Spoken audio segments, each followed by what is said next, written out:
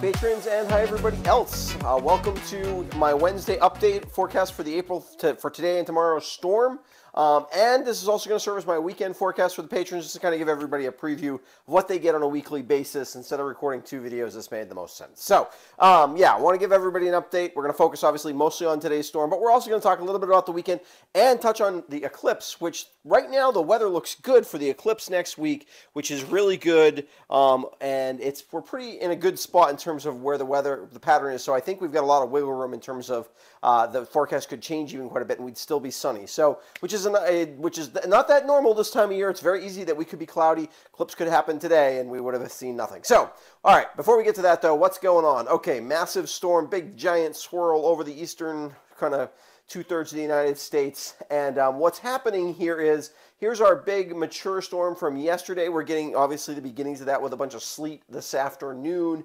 And what is going to happen and is happening currently is we are starting to develop a new low pressure system here over the Delmarva Peninsula, eastern Maryland, somewhere in that range, which is going to slowly creep up the coast over the next basically 24 to 36 hours. Um, and during that time, we are going to transition our precipitation this evening from sleet over to snow and then accumulating snow for most elevations. Forecast in terms of snowfall totals has not changed much. Um, and uh, it looks like we're pretty much on track. This is kind of what we anticipated. Um, initial burst of precipitation has been a little lighter than we thought, but this wasn't really going to fall as snow anyway. So in terms of snowfall totals, it shouldn't uh, really mess things up too much. Um, yeah, it could be slick out there at times, though. Certainly the sleet can be slippery, so just keep an eye on that as you're going out the rest of the afternoon and evening tonight. And then tomorrow will be real rough on the roads, pretty much for everybody. So let's take a look at radar. We will zoom in on radar, but you can see big swirl. What we do have is a bit of a dry slot here, which is going to fill in, not so much fill in, but be reinvigorated by uh, the low pressure system as it gets going. So we aren't going to see heavy precipitation. Uh, this radar is from about uh, 3 o'clock or so this afternoon. Um, we won't see this fill in uh, or the, we're kind of in the lighter off and on precipitation now, but by this evening it becomes steady and heavy um, as we transition at, from sleet to snow. It'll probably start as a little bit of heavier sleet before um, we start to wrap in some cooler air as the low pressure system here starts to uh, take off. So what's happened here is we've surged some warmer air aloft in, um, but as this low pressure takes over and as the mid-level kind of low as well does, it starts to wrap, it starts to wrap in, uh, in on itself and it starts to drag in some colder temperatures from the north um, and we don't need much of a change here to go back to snow. So that's what's going to happen. Let's take a look closer in. You can see um, radar kind of struggling to figure out exactly what's going on here but most of us in southern vermont are sleet or maybe some snow up uh, at the highest elevations and things like that. Um, we do have some rain in some of the valley locations. Right now, it's not really accumulating too much on the ground. And also here, you can kind of see that big kind of uh, dry slot that has moved in to our west and will certainly keep our precipitation kind of off and on. But this band here and what's going to develop with it as the storm gets going is kind of the next wave, and that will really get things going and really start to accumulate the snow. This is a few hours away, though. So in terms of you get a little bit of time here where it's not too, too bad out there before things start to get a lot trickier out there. Um, let's take a quick look at the surface uh, low pressure and you can kind of see, and we're going to look at pressure tendency in a minute here too, but you can see here we've got the big primary storm and we've got the occluded front. This is sort of a front that doesn't have much of a temperature difference around it. And then you can see we're starting to develop our new low pressure system here off to our south. Um, and this will become the primary low. But this process is going to take quite a while. This is not going to be a rapidly, it's going to intensify. It's going to become quite a strong storm, but it's not going to become an overly strong storm real quickly. We've also seen some pretty good wind gusts west of the greens. That should continue through this afternoon and early evening as well. There's been a couple of power outages, not too bad with that, but a couple of them that definitely uh, will continue. That's mostly a Rutland and Bennington County kind of thing thing. Um, if we head towards pressure tendency, so warmer colors is where the where the pressure pressures are actually coming up, and you can see where that uh, low pressure system was and is. It's starting to to lose its steam, and in, in, in, that regard, it's actually pressures are starting to rise. But we have a lot of darker or cooler colors here. This is where the low pressure system is forming here off the east coast, um, and that is where it is going to form off the east coast. So as we do, let's take a quick look just to kind of give you an idea of temperatures. We're in the low 30s basically, 33, some low, some upper 20s. So cold enough at the surface that stuff that falls can, if it, especially if it starts, if we get into steady precipitation, could start to become problematic. We've been light enough that it hasn't, when we were warm enough with temperatures actually uh, pushing close to 40 in a lot of locations earlier this morning, that uh, basically most of this has melted as it's hit the ground so far, but definitely we're not out of the woods yet, um, especially as the sun goes down today. Let's take a quick look. I just want to kind of give you the, the this has not changed. These are actually maps from yesterday. I want to just reiterate what's going to happen in terms of uh, things as we move forward. So this is by 8 o'clock tonight. Uh, the snow has started to kind of be the main uh, precipitation type uh, for the spine of the greens. Snow and sleet for most of the rest of us with a little bit of sleet left over. Right now we're mostly all sleet.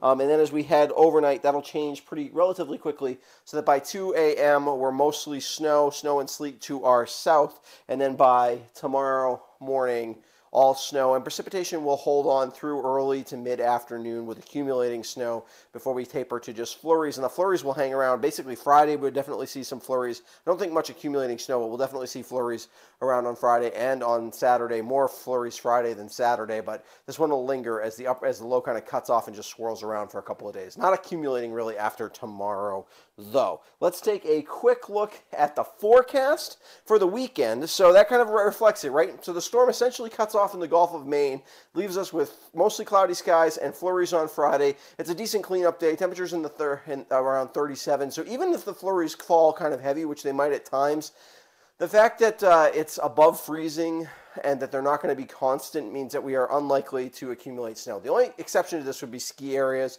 The highest peaks could definitely still be getting some snow out of this. But for most of the rest of us, any accumulating snow is done by Thursday, by midnight on Thursday at the very latest. Most of us are done by uh, nightfall on Thursday. Um, we hold on to clouds, but when we start to get more and more sunny as we head towards Saturday, flurries, we could see some sun though on Saturday. Saturday is less flurries. Um, just here passing flurry here and there. Temperatures still in the mid 30s. Again, that's quite a quite cold for this time of year. Temperatures in the upper 20s as we start to clear out. Sunday is nice. Temperatures come up a little bit as temperatures respond to um, the low pressure system kind of moving away a little bit more and a little bit of sun this time of year. The sun angle is quite high, so we're starting to get that sun really affecting us. We will cool off. It'll be pretty chilly Sunday night into Monday as we get into a dry air mass. And the good part about that is Monday is the eclipse. So uh, good to start off dry. We look to be dry, pretty much full sun on Monday. Right now, we really couldn't ask for better weather, it looks like, for the eclipse. So um, if you're trying to see it at, uh, you know, uh, 90, and if you're headed towards places where they're going to get the totality, northern Vermont, if you're heading out towards western Western New York, places like that. They also look to be very much in the sun, so um, it looks like we are going to be able to see most of that happen here in southern Vermont. Most of us are in like the 96, 97, 98% totality. Just north of uh, Rutland County, you do get Middlebury is, gets a little bit of totality time. So anyways, that's what's happening. So pretty good stuff um, for that. Let's take a quick look at the overall weekend highlights. Still expecting a few remnants of our ongoing storm for Friday and Saturday. No accumulating snow, but frequent snow showers, especially on Friday. That's after, of course, we get our uh, big snow totals this weekend. Some sun on Sunday. Weather looks really good for the eclipse currently, and temperatures will warm next week. I did have a snowfall map for you. Let me pull that up real quick. We miss out on that. Yeah. Um, snowfall totals haven't really changed. This is my map from yesterday. I feel pretty confident that this is about where we'll end up. If I had to guess, I'd say on the lower end of these right now, but we could still push up closer to the higher ends. We're going to get a decent amount of snow tonight and tomorrow for this. So most of us, that's at least 6 inches, maybe as much as 10 for a lot of places in the valleys. Foothills, we're talking 10 inches probably on average, could get as much as 16. And then the mountaintops, we're talking probably closer to 12, but some places could push 18. Wouldn't be surprised to see a little bit more even in a spot or two. To our south, we're more 4 to 6 inches um, as snow takes longer to change over. That's what things are looking like right now.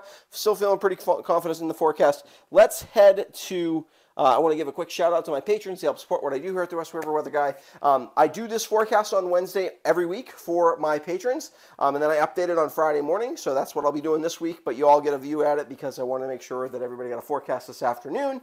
Um, thanks for the support. Um, I know on Facebook a few of you are having an issue where um, the link hasn't been working lately. Hopefully they've got that fixed out. That's been a thing. That's been on the Facebook end of it. When that happens, you can message me or leave a note or leave a uh, message underneath the Facebook post if you're having that issue, and I will post the link again or give it to you again. Or you can just go to my YouTube page. You just go to YouTube and search for the West River Weather Guy, and it'll show up as my most recent video. Or I do have a website. You can also go there, and I'll post the videos there. But anyways, um, I know that's a lot of stuff, but just kind of give you a heads up on that. Thanks to my patrons, and if you haven't subscribed to my YouTube channel before, I'd encourage you to do so. Then you don't have to worry about looking for it on social media. All right, we'll see you on.